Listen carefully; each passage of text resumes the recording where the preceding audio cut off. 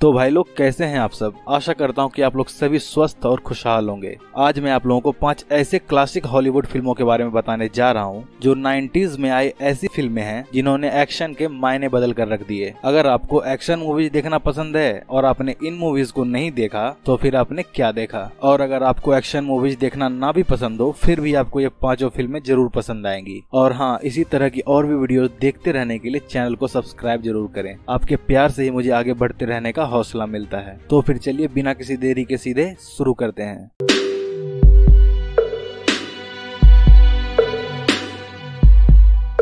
पाँचवें नंबर पर हमारी लिस्ट में है हार्ड टारगेट हार्ड टारगेट एक स्टाइलिश एक्शन से भरपूर फ़िल्म है। जिसे हांगकांग के डायरेक्टर जॉन वो ने डायरेक्ट किया था। यह उनकी पहली यूएस बेस्ड फ़िल्म थी। यह एक बहुत ही इंजॉयबल फ़िल्म है। अगर आप इसे बहुत ही ज़्यादा सीरियसली नहीं लेते हैं तो। जैसा की इसमें जीन क्लाउड वैन डैम है तो आपको इसमें बेहतरीन एक्शन देखने को मिलते हैं। अगर इस फ़िल्म के कहानी की बात की जाए नताशा वैंडर अपने पिता की तलाश में न्यू ऑर्लिंस आती है, जो की लापता हो चुके हैं। ऐसा करने के दौरान वह एक चांस नाम के बहुत ही हार्ड मैन से मिलती है, जो की उसे उसके पिता की तलाश करने में मदद करता है। बेसिकली इस फ़िल्म की कहानी इसी के इर्द गिर्द घूमती है और इस दौरान आपको बहुत ही बेहतरीन एक्शन सीक्वेंसेस देखने को मिलते हैं। जिसे देखना काफ़ी मज़ेदार रहता है और इसे आपको एक बार तो ज़रूर देखना चाहिए। आप इसे बहुत इंजॉय करने वाले हैं।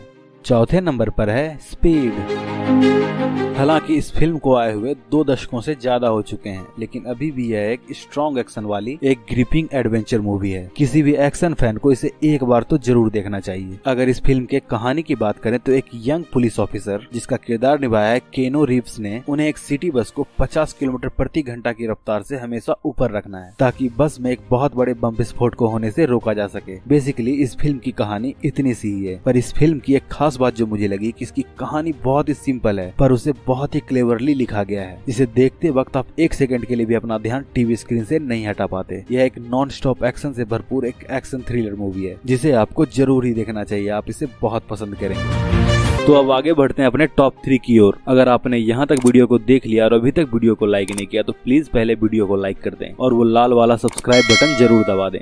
हमारी लिस्ट में तीसरे नंबर पर है द फ्यूजिटिव द फ्यूजिटिव एक ऐसी फ़िल्म है, अगर आप एक्शन मूवीज़ के फ़ैन नहीं भी हैं, फिर भी यह फ़िल्म आपको बहुत पसंद आएगी। इस बात की गारंटी तो मैं ले सकता हूँ। यह एक ऐसी फ़िल्म है जो आपको हर मायने में एंटरटेन करती है। अगर इस फ़िल्म के कहानी की बात करें तो शिकागो के जाने माने सर्जन डॉक्टर रिचर्ड किम्बल उनको पता लगता है की उनकी पत्नी हेलेन का उन्हीं के घर में बेरहमी से हत्या कर दी जाती है। और इस हत्या का आरोप डॉक्टर रिचर्ड के ऊपर लगा दिया जाता है। और उसमें उन्हें दोषी ठहरा दिया जाता है। और मौत की सजा सुना दी जाती है। अब उन्हें खुद को बेगुना भी साबित करना है और साथ ही उन्हें अपनी पत्नी के कातिलों को भी ढूंढना है। यही है इस फ़िल्म की बेसिक कहानी। यह एक एक्शन, सस्पेंस और थ्रिलर से भरी हुई मूवी है। आप इस फ़िल्म के अच्छे होने का अंदाज़ा इसी बात से लगा सकते हैं कि इस फ़िल्म को सात ऑस्कर नॉमिनेशन मिले, जिसमें best actor for supporting role के लिए टॉमी ली जोन्स को ऑस्कर अवार्ड से नवाजा गया। अगर आपने यह फ़िल्म देख ली है तो इस फ़िल्म के बारे में आप अपनी राय हमें कॉमेंट सेक्शन में ज़रूर बताएँ। दूसरे नंबर पर है टर्मिनेटर टू, जजमेंट डे।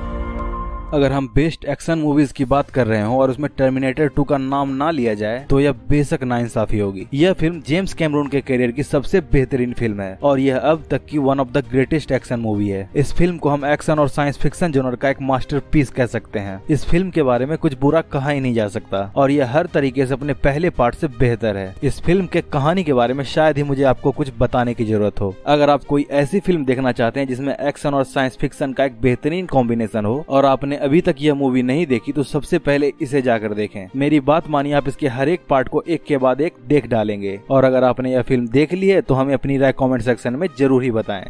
और हमारे लिस्ट में पहले नंबर पर है द मैट्रिक्स द मैट्रिक्स एक ऐसी फ़िल्म है जो कभी पुरानी नहीं हो सकती। चाहे हम 2030 में चले जाएँ या 2050 में, यह 90s में आई एक ऐसी फ़िल्म थी जिसने साइंस फिक्शन फ़िल्मों के लिए एक रिवॉल्यूशन ला दी। अगर इस फ़िल्म के कहानी की बात करें तो थॉमस ए एंडरसन एक दोहरी ज़िंदगी जीने वाला आदमी है, जो की दिन में एक एवरेज कंप्यूटर प्रोग्रामर है, पर रात में वह है एक हैकर जिसे नियो के नाम से जाना जाता है। नियो ने हमेशा उनकी रियलिटी पर सवाल उठाया है, पर जब उसे सच्चाई का पता लगता है तो वह उसके इमेजिनेशन से कहीं आगे है। यह एक इनक्रेडिबल और हाईली इन्फ्लुएंशियल फ़िल्म है। भले ही इस फ़िल्म के आगे के दो पार्ट उतने अच्छे ना हो, पर जब आप इस फ़िल्म को देखते हैं तो आपको यह एहसास भी नहीं होता कि यह फ़िल्म उन्नीस सौ निन्यानवे में बनाई गई थी। टर्मिनेटर टू की तरह यह फ़िल्म भी एक्शन और साइंस फिक्शन का एक बेहतरीन कॉम्बिनेशन है, जिसे अगर आपने अभी तक नहीं देखा तो आपको इसे एक बार तो ज़रूरी देखना चाहिए। यह मेरी तरफ़ से आपके लिए एक हाईली रिकमेंडेड मूवी है, जिसे आप ज़रूरी देख सकते हैं।